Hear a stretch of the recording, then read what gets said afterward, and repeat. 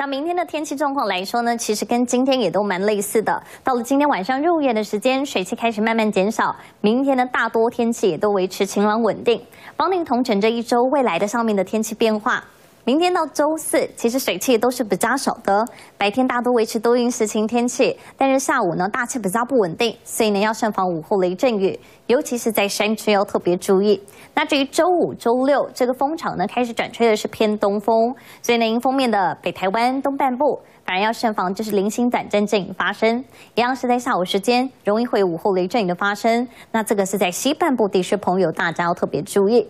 我们来关心这几天温度上面的变化，在北台湾呢这一周来说，天气是比较闷热一些，像在白天高温可以上看到三十四啊、三十五度左右，但是下午呢大气比较不稳定，所以呢给了一个下雨符号。下午时段呢要慎防的就是午后雷阵雨，尤其是在山区会偏比较明显一些。